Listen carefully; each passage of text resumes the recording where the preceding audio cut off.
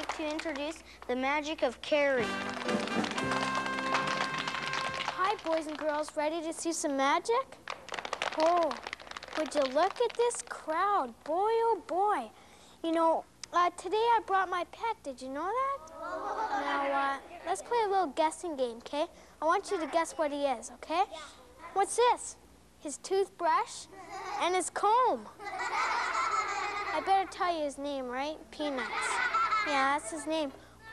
He's big, he's gray, and he has a big trunk and big ears. How did you guess so fast? Maybe if I just go abracadabra and tap, here he is. Oh, no. Well, maybe I need everybody's help, okay? Everybody's help on the count of three. One, two, three. Abracadabra! Well, maybe let's look in this one. look at that. It's not peanuts, but it'll do. Yeah. His, his name's Harvey. You know, uh, Harvey's a dove, and you know, we're not the only ones who could do magic. You know that. Well, he can pretend to go to sleep.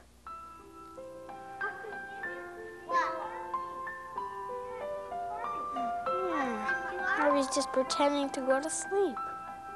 To wake him up, tickle his feet, like so.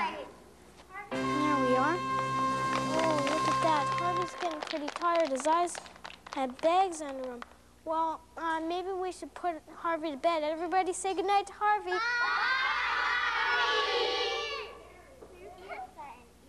Now, on, oh, you want to see him again? Yeah. Okay, we'll go one, two, three, and say abracadabra.